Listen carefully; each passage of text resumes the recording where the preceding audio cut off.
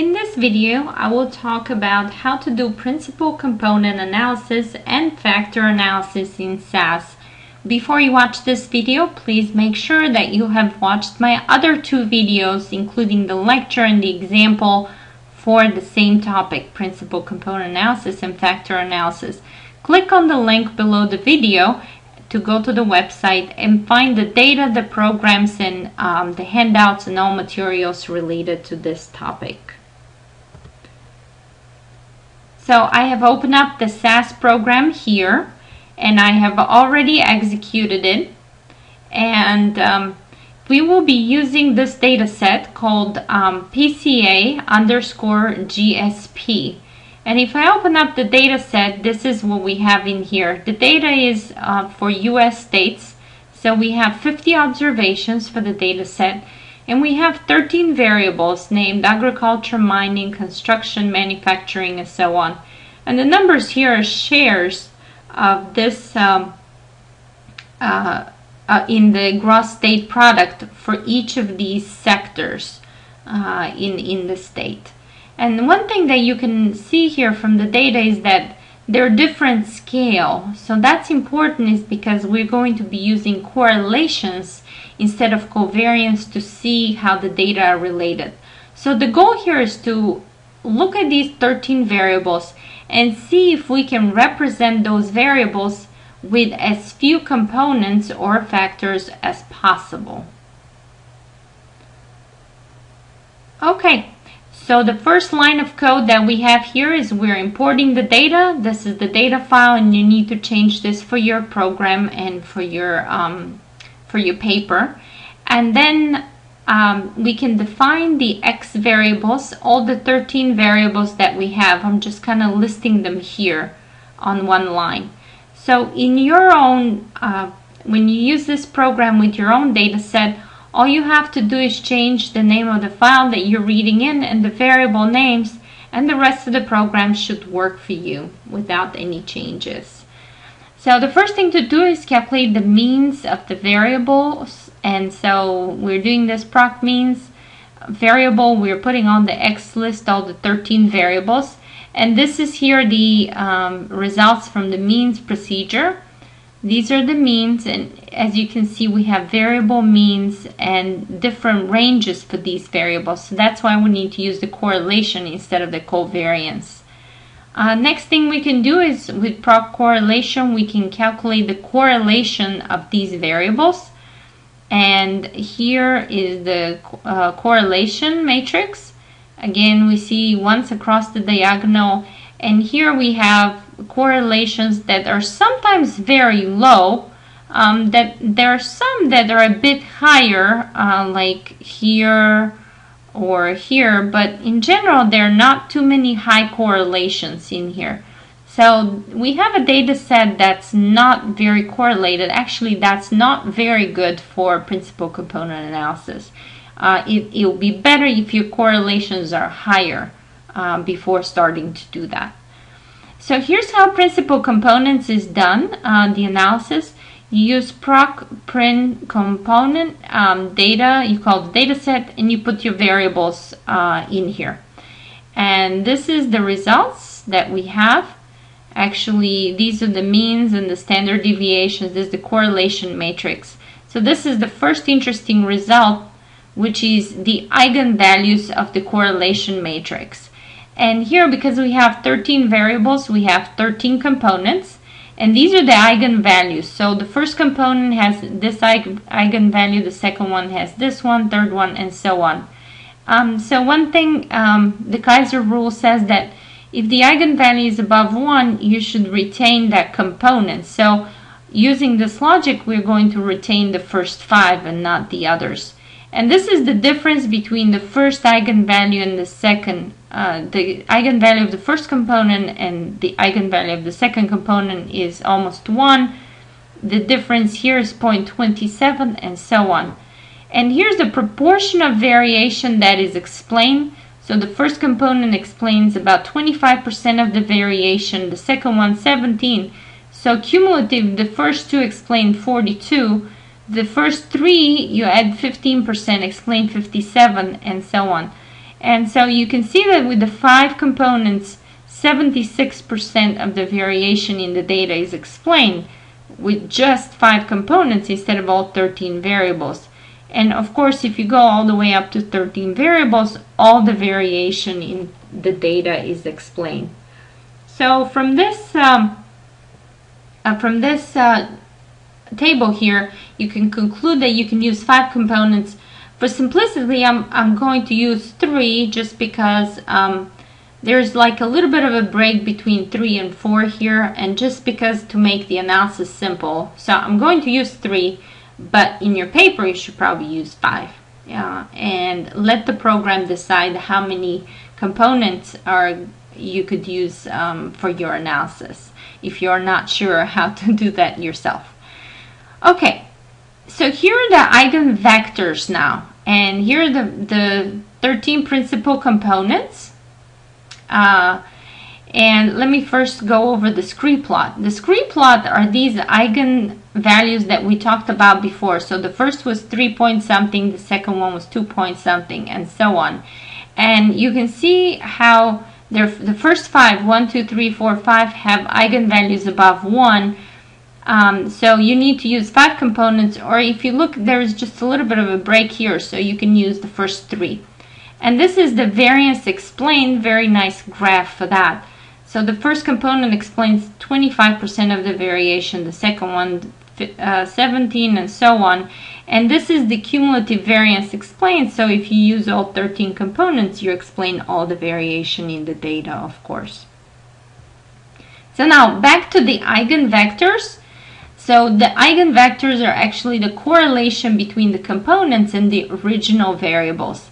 And here you have um, actually um, all, all, all 13 components and here you can see some of the correlations are actually very low and some of them are a bit higher so here's how mining is very much correlated with the first uh, principal component transportation is also very correlated um, energy somewhat correlated and, and, and so on uh, and if you keep the first three components, you can see which variables are correlated with which components here.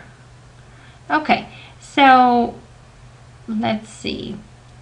So this was the principal component analysis using all the um, all the principal components. And this one here is if we restricted three components, you can use the same procedure as we used above only that you put n equals 3 and that's going to uh, actually restrict it only to the first three components.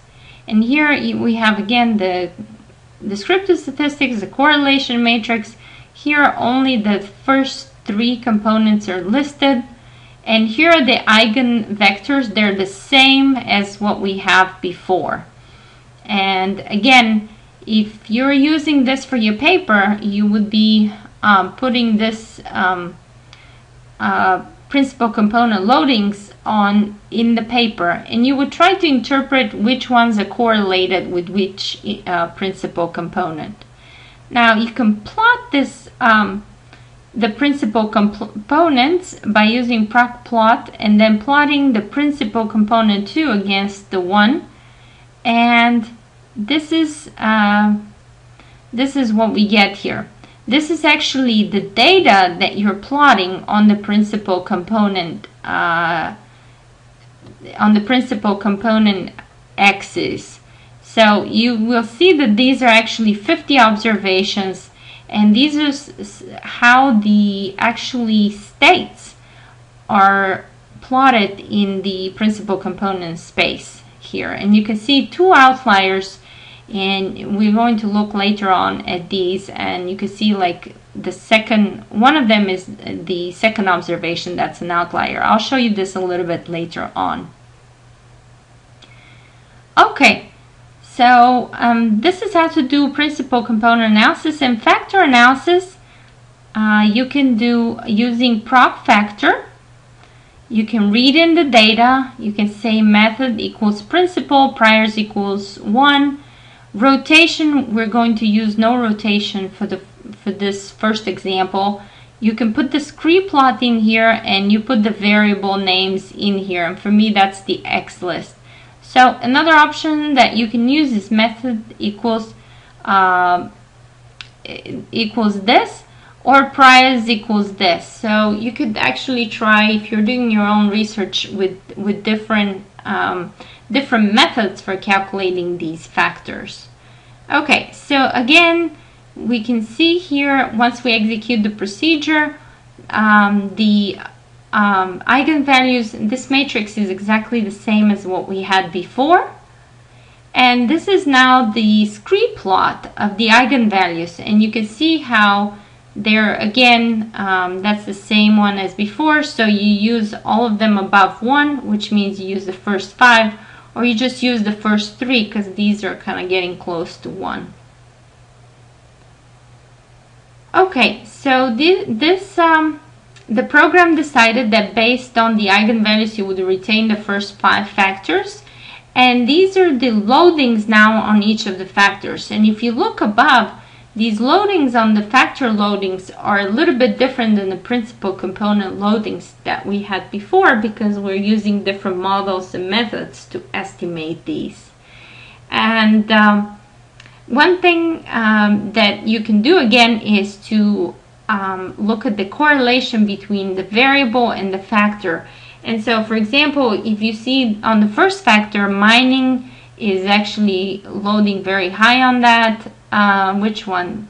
Uh, transportation and uh, real estate and services are also loading high with negative values.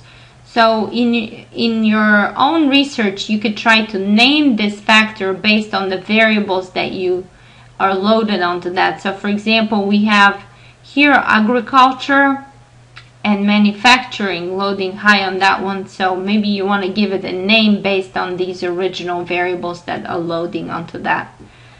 So Another thing that you can interpret from factor analysis is this communality or the uniqueness of, uh, of each of the original variables. And uh, you can see here that agriculture has very um, has high uh, communality factor, which means it has a low uniqueness factor, and vice versa. And so these also could be included as part of the of the paper. Okay, so the next thing that you can do here is actually you can estimate factor analysis with only three factors. And you, I just a little bit modified this one that I had above to this one. So one thing I've changed is I put a uh, number of factors equal 3 um, equals 0.3 this actually leaves blanks in the table for any for uh, any of the numbers that uh, for which the correlations are less than 0.3 which makes it kind of easy to see which are the um, variables that correlate very strongly with the factors and you can also plot them and you can actually output these factors in the back in the data set. So this is what we see, that's a repeat of the above. And here, here's the factor pattern. We have three factors and now the factor loadings that are less than 0.3 are actually deleted. So now you can see which, um, which factors are loading, which variables are loading on which factors, and you can also try to name the factors based on which variables they're loading, uh, loading on. Okay, so let's see. Here we also have the standardized uh, scoring coefficients uh, between the variables and the factors. And these are actually used when you when you uh, calculate the factors that you you put back in the data set. So if you look in the data set actually we have put the principal components and the factors back in the data, data set so the principal components from the previous procedures that we did and these are the factors the three factors from now so now notice that each of the observations in the data set now has a factor associated, it has a value on the factor. And so instead of using the 13 original variables, now you can use only uh, three principal components or three factors that explain as much as possible of the information that we have contained in these 13 variables. And another thing, notice that actually the second observation that we have here, and that's the state of Alaska, is loading very strongly on the first principal component and the first factor. So we're going to see that as one of the outliers in the in the graphs um, that I showed you before for the principal component and now I will show you for the factor analysis. Okay, so now this is how the original variables are uh, loading in the factor space. So here we have factor 1 and factor 2 is on, on this uh, horizontal axis. And one thing that you have is um, is a is a legend here. So for example, here this one is L and L has L is services. And so I'm looking at this L and the loading on factor 1 is approximately what? Minus 0.7 and the loading on factor 2 is approximately 0.5 or 0.6 so if you go back to the data for services for services you will see loading on the first factor is minus 0.6 and loading on the second factor is is 0.57 and this is actually what we see on the graph here. So um, you can see all of the original 13 variables in the factor space. That's kind of useful in to see how uh, the variables are correlated with the factors. So ideally what we want is for these original variables to be very close to the axes because then you have high loading on one factor and low loading on the other factor. That, that's the ideal outcome. Now, if that doesn't happen, what we do usually is a rotation to make this happen. And there are several types of rotation, and I will show you here the Varimax rotation. And so this procedure here is exactly the same in this one except that here the rotation I put that as Varimax whereas here we had the rotation as none. And now you can see how these um, rotated factors are um, corresponding to the factors before that were not rotated. And actually in this particular case the rotation didn't really change the results that much. But typically what you will see is that there's very few variables here loading on the first factors, on the second and the third. And the other thing is that these factors are orthogonal to each other. So um, this is the properties of the Varimax rotation. And so if you look at the um, um, I actually didn't didn't do the plot now in the factor space just because it's the same but what we want to do is have something again here that the, the original variables are staying very close to the axes that we have here. Okay, so, um, so the final thing that we can do here is to plot now in the factor space we can plot uh, the data or the observations. And remember how I, I showed you the second element has very high loading on the first factor? And this is basically those outliers that we have here. And you can see how the observations or the states in this, uh, in this case are loading on the factor 1 and factor 2. And um, that's kind of useful to know and see and identify what's going on with the data. So thank you very much for watching. Uh, this was how to do principal component analysis and factor analysis in SAS.